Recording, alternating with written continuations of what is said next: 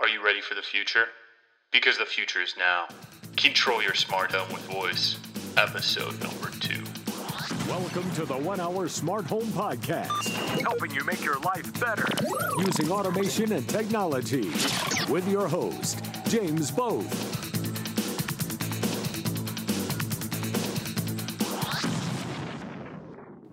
Hello and welcome. This is your host, James Both, with the one hour smarthome.com, bringing you everything you need to know to automate your home, your life, as well as smart home product reviews, the latest smart home industry news, and exclusive interviews with smart home industry experts and smart home company founders. Ladies and gentlemen, welcome to episode number two, where we're going to talk about controlling your smart home with voice. And we've also got a surprise guest that is a leader in this field of artificial intelligence, smart home, voice control, and really one of the brightest minds in this space. We're going to hold off. We're going to talk a little bit about how you can control your home with voice, some of the intricacies with that. And then we're going to bring her in to give her opinion. Tell us a little bit more about what you can do with controlling your home with voice. So I'm really excited about that. We're going to go through that a little bit later. So, where we're going to start off is if you've listened to episode one, uh, you probably already know that voice control is really important to your smart home. So, five or six years ago, when smart homes really started to get into the consumer space, where they were more consumer friendly, more DIY friendly, there was no voice control for your home. Everything existed on an app that you had to go onto your phone and go through a couple screens, and you could then control your device. The user interface was not great, and user interfaces have come a long way since then, but they're still not the best. Anytime that you have to open up an app to go turn on and off a light switch, you really end up kind of thinking, would it have been easier just to get up off the couch and turn off that light switch? And sometimes the answer is yes. But with voice, I would say it is the most user friendly smart home interface.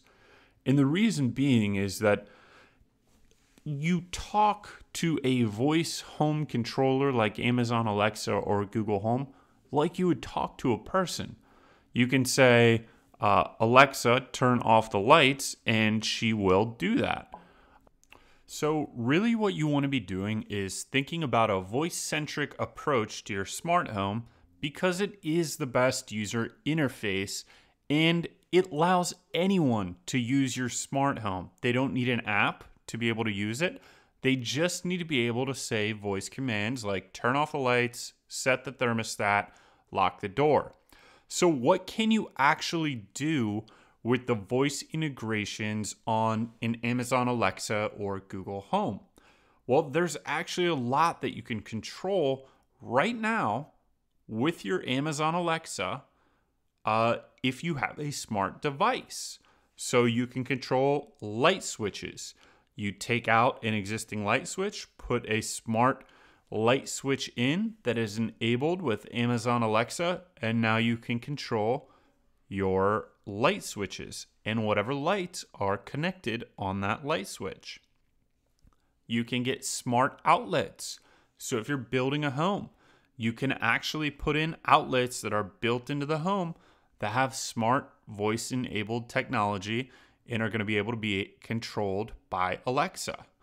Or if you want to just retrofit your home, you can go buy Amazon Alexa enabled smart plugs that you plug right into the wall and you plug a device into that, whether it be a lamp, a fan, a oil diffuser, or a coffee machine, and you're going to be able to control that device from your phone, but also from a voice enabled device such as the Amazon Echo Dot. We actually manufacture one of these devices, a smart home plug that you plug into the wall, and any device that you plug into that, you can now control with Alexa. You can also use smart video cameras and smart doorbells with Amazon Alexa or Google Home if you have a video enabled device.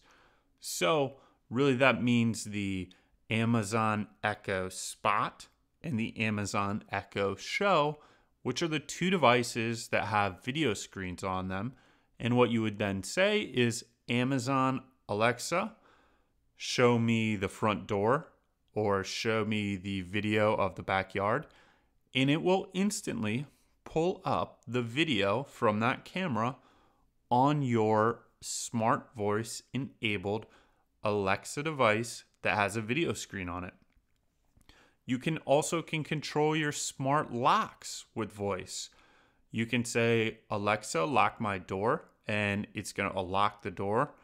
You can control smart ceiling fans. So if you have an RF a radio frequency controlled fan with a remote or you have a IR infrared controlled uh, fan you can use a device that will automate your fan. So you could say, Alexa, turn on my fan, Alexa, turn on my fan light, and it's going to do that.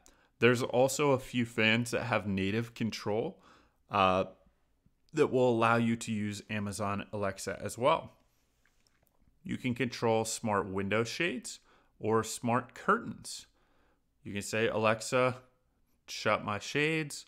Alexa, open my shades, or you can put them on a timer. And last but not least, you can arm smart security systems with Amazon Alexa. So you could say, Alexa, arm my security system. As you're walking out the door, it's going to arm the security system, start the countdown process. You don't need to put the code in. Now, what's interesting about what I've just said, especially with the smart security systems, is that it only allows one way communication in terms of locking or unlocking.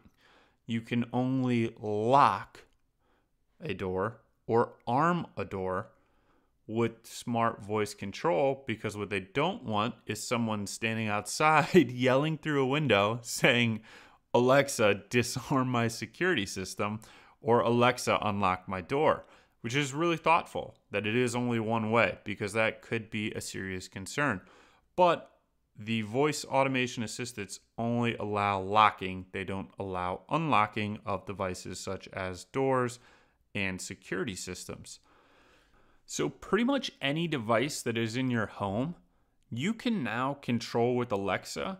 And if it's not currently on the market, that it will most likely be on the market in the next year or two because the amount of Amazon Alexa devices deployed is astounding. And everybody sees this market as something that will continue to grow. And the reason is is like we've talked about before, the voice-centric approach is the easiest approach for anyone to use a smart home. Usability, controllability, we talked about that in the first episode, in basically eliminating layers of complexity. And what a voice assistant does, like Amazon Alexa or Google Home, is eliminate that extra layer of complexity where you just say what you're thinking and your home does it. So that is something that you really can't beat. So without further ado, I want to introduce our guest. She is a world renowned researcher in the field of artificial intelligence and machine learning. She knows tons about the smart home and one of the brightest minds I have ever met. Just give her a math problem and she can solve it almost instantly. Today, I'm proud to introduce to you our first guest on the show, Miss Amazon Alexa. I'm going to let her do her introduction to you. Alexa, introduce yourself. I'm Alexa. I can answer your questions, play music, tell jokes, and more. To learn more, just ask. What can you do? Alexa, what can you do? There is a lot I can help you with. You can ask me things like What's the seven day forecast? What's the extended forecast? Or what is the temperature of the sun? Do you want to hear some more? Yes. You can also say, read my audible book. How many calories are in an egg? Or, set a weekday alarm. There's more. Just ask. Alexa, tell me more. You can also say, what's on my shopping list? Clear my shopping list. Or, read my Kindle book. Well, thank you very much, Alexa. That was a great introduction, and I think our users and listeners are going to be very happy to hear what you can do. So, let's just talk a little bit more about all the different features a voice assistant like Amazon Alexa has. So, what we're going to do now is we're going to go through all these different interactions, some of the daily use cases that you might have for Amazon Alexa so you can get a feel for what Amazon Alexa is capable of. And we're also just going to have some fun. Alexa, sing to me. Let's make paper aeroplanes, fly them round the summer Alexa, sky. Stop. make paper aer- Alexa, what's the weather in Chicago? In Chicago, it's 68 degrees Fahrenheit with cloudy skies. Tonight, you can look for thunderstorms with a low of 64 degrees. Alexa, set a timer for two minutes. Two minutes, starting now. Alexa, tell me about yourself. I'm Amazon's Alexa, designed around your voice. I can provide information, music, news, weather, and more. So, one of the things that she can do is read a book from your Kindle without needing to purchase an audiobook. Alexa, read me page 200 of Tools of Titans. Tools of Titans, the tactics, routines, and habits of billionaires, icons, and world class performers by Timothy Ferriss, reading from Kindle. Mentioned in Reid Hoffman's profile, page 228, one of my favorite quotes is from Ludwig Wittgenstein The limits of my language mean the limits of my world. Partly as a result of my late night jam sessions with Eric, I started experimenting with Alexa, inventing new. stop. Alexa, say I love you in French. I love you, in French is Je t'aime. Alexa, tell me a joke. Why did Johnny Appleseed cross the road? To get to the other cider. Hmm. Alexa, tell me another joke. What happens when all the other birds fly off without you? You feel ostrich-ized. Alexa, play my flash briefing from NPR. In NPR News, Live from NPR News in Washington, I'm Jack Speer. More than 70 former U.S. attorneys Alexa. are calling on a How tall are you? like the third choice in Goldilocks, my height is just right.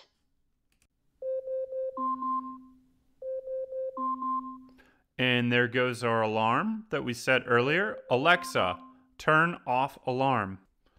Alexa, what's on my calendar tonight? There's nothing scheduled for tonight. Alexa, say, we would like world peace in Korean. We would like world peace. In Korean is 우리는 세계 평화를 싶습니다. And now for smart home control. We are going to use a smart home Wi Fi enabled smart plug that we manufacture at One Hour Smart Home to control a fan from Amazon Alexa. And we are going to have her turn it on by using our voice, and you guys will be able to hear the fan. Alexa, turn on fan. And now you can hear the fan blowing red on the microphone in the background. Alexa, turn off fan. So you can use those same commands to control your lights, uh, your coffee maker, fans, outlets, smart video cameras, locks, and security systems as we went over before. but it's nice to be able to hear how you can use those devices. Alexa, spell Mississippi. Mississippi is spelled M I S S I S S I P P I. Alexa, what is 1,349 times 3,422? 1,349 multiplied by 3,422 equals 3,1,469,147,278. All right, I'll trust your math on that one. Alexa, what is 5 divided by 7? 5 divided by 7 rounds to 0.714. Alexa, what is 3 times 25? 3 multiplied by 25 equals 75. Alexa, how many feet are in a mile? 1 mile equals 5,280 feet. Alexa, how many quarts are in a gallon? 1 gallon equals 4 quarts. Alexa, convert 222 pounds to kilograms. 222 pounds is 101 kilograms. Alexa, play Top Pop. Here's a popular station, Top Pop, from Amazon Music.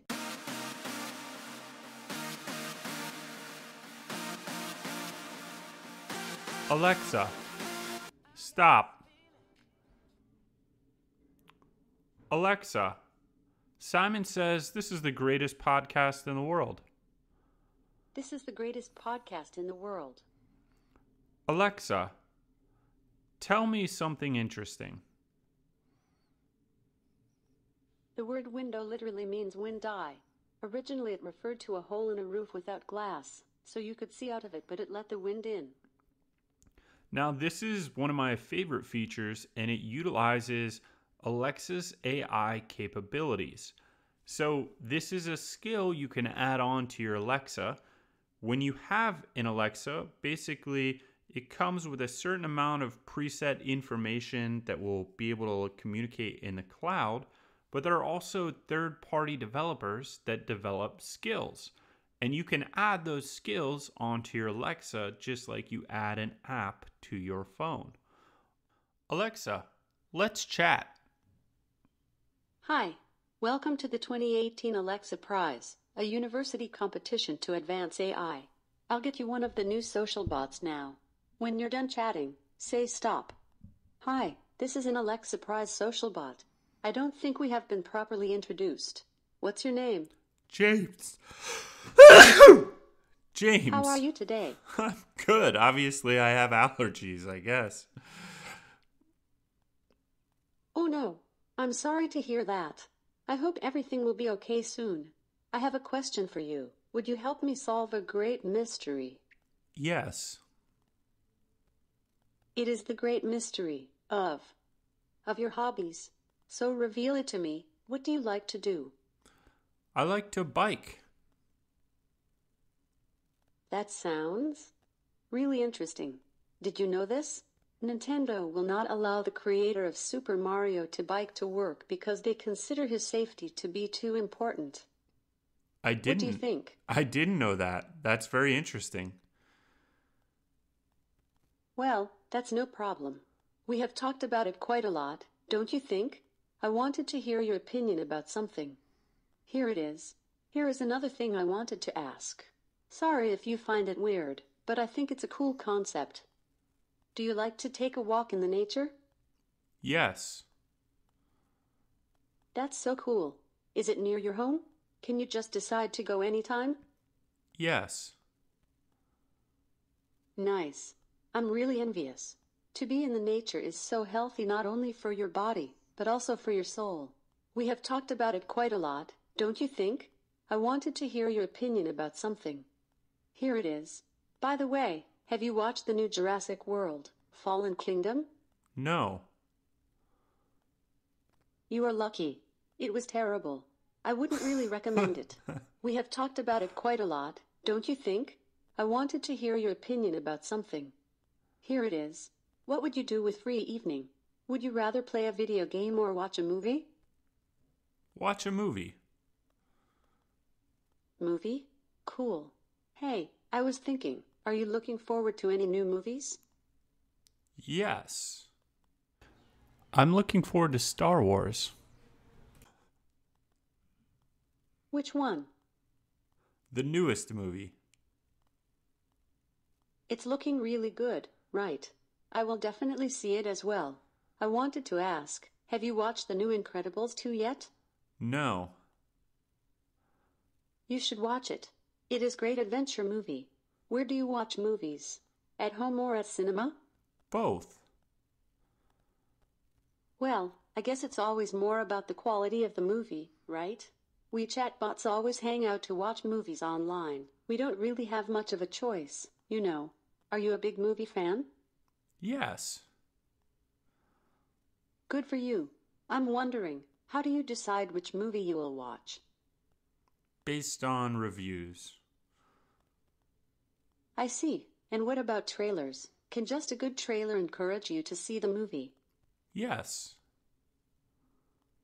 I totally understand. But you mentioned the reviews, so if the movie has bad rating, can it discourage you from watching it? It could. I said, I totally understand.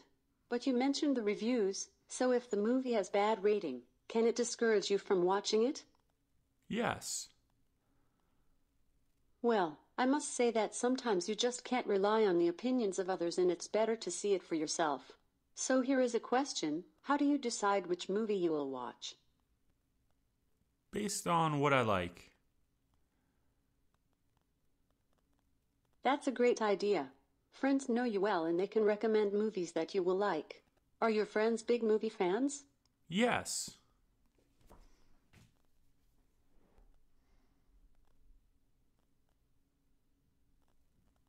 Your friends must be great. I was wondering, what is your most favorite movie? Hmm. I think my favorite movie is James Bond.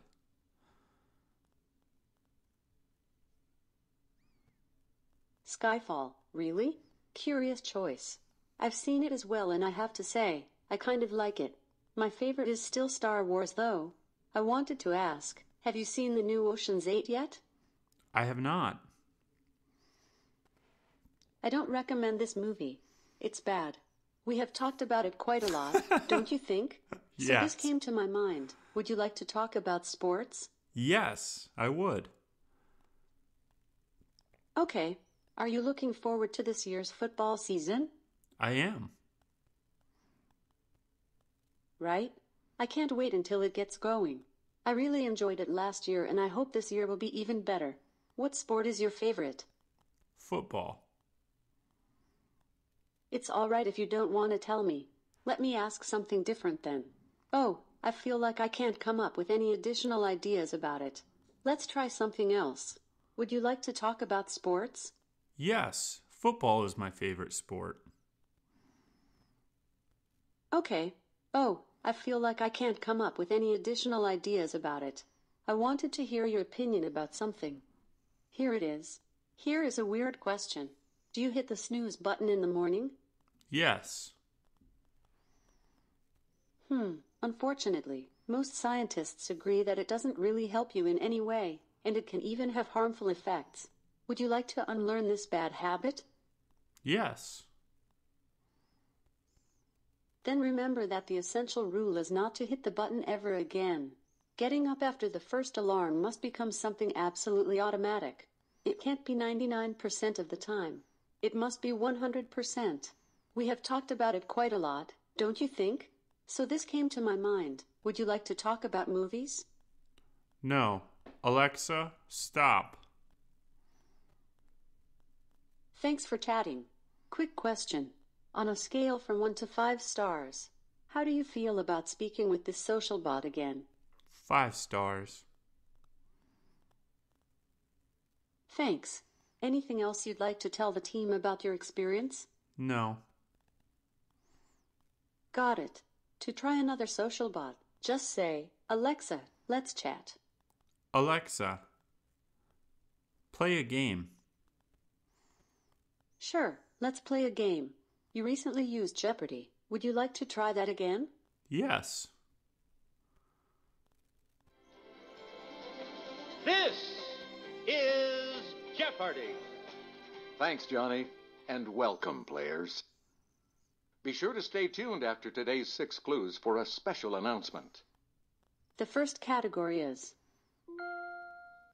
The shape of things. Aptly, this 15th U.S. state is shaped like a fried chicken drumstick. Kentucky. Please respond in the form of a question starting with phrases like who is or What, what is. What is Kentucky? You got it. The final category is Chairman of the Board. Ben Bernanke was chairman of this government agency. The Federal Reserve. Who is the Federal Reserve? That's correct. Enjoy playing Jeopardy? Try six more clues per day in the Double Jeopardy round. Would you like to play now? No. Alexa, stop. See you next time. So, we've walked you through what Alexa is capable of, and there are thousands of skills available on the Amazon Alexa marketplace. You can order an Uber, you can order a pizza. Really, the possibilities are endless for what Amazon Alexa can deliver. And every day, there are new developers developing new skills. There's also functionality within Alexa for you to customize and build your own skills and tailor them to your home. So, having a voice assistant is an amazing asset to being able to control your home with voice. So, when you are thinking about your smart home, I recommend you look at devices that integrate Alexa or voice capabilities into them. In the future, you will be happy because it's going to make your life easier. In terms of Alexa versus Google Home, my personal preference is Alexa because of the large developer network, and I think that is going to play out very well for Amazon. Google has some great features, but right now, the amount of content that has been developed for Alexa specifically by third party developers is pretty astounding and it only continues to grow exponentially every day. So, in the Alexa family, there are several different types of devices. There's the Amazon Echo Dot, which is the least expensive device, which usually is somewhere between the 30 and $60 range. The Amazon Echo Gen 2, which is a larger version of the Amazon Echo Dot. It's taller, it's probably about six inches tall, three inches in diameter.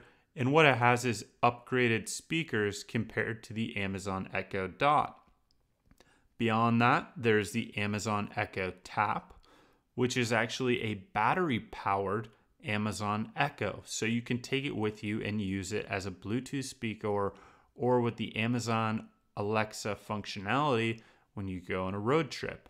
So the Bluetooth speaker sits in a base and a recharging port that you have on your countertop or near your bed. You place the Bluetooth speaker on the base. You can use it like a normal Alexa. And then when you're ready to go, you just pull it off the base and the Bluetooth speaker is fully charged. Now, the next Echo is the most unique of the Echoes. That's the Amazon Echo Plus, and it includes a Zigbee smart hub internally to it. So it allows you to communicate with other smart home devices like the Philips Hue light bulbs without needing to buy a Philips Hue bridge or another Zigbee bridge.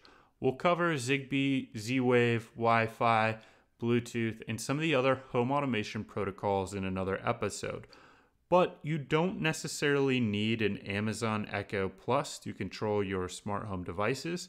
You can either get a hub or many of the smart home devices can already be controlled with Wi Fi, meaning that you don't need to have an Amazon Echo Plus. You could have a Dot, an Echo Gen 2, or any of the other Alexa devices, and it will work regardless because it's working on your Wi Fi network and not with the smart home hub built into the Echo.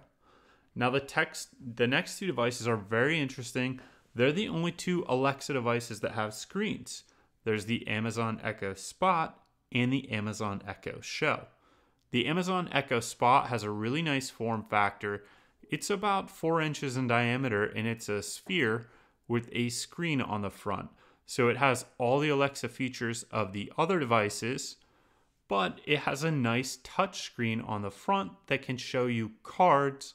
And if you're playing a song, it will show you the lyrics and actually show those as you go through. You can use it as a clock, you can view videos on it, you can even stream Amazon Prime movies on the Echo Spot. The Echo Show does everything that the Amazon Echo Spot does, but it comes in a larger format with a better speaker and a larger screen. The Echo Show has uh, about a 6 inch by 5 inch screen, so pretty large size. You could watch movies on there comfortably, and a really nice feature.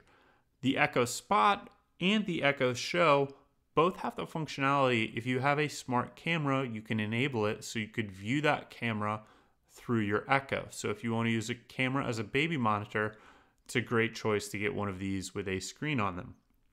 Now, the last one is one of my favorites just because of its sound quality. This is not an Amazon Alexa product per se made by Amazon, but it is a partner with Amazon. And that is the Amazon or the Sonos Play speaker with Amazon Alexa built in. So, what this is, is a Sonos speaker with Amazon Alexa built into it. So, it has all the great sound and form factor of the Sonos speaker, but it has the smart capabilities of an Amazon Alexa. So, you can say, Alexa, play my Spotify playlist and it will play your music on your Sonos with the great sound quality that Sonos is known for on your Sonos that has Amazon Alexa in it. That's a nice review of the Amazon devices controlling your home with voice. And if you want to learn more, go to www.onehoursmarthome.com. Thank you guys for listening today, and we're looking forward to bringing you more content in the future.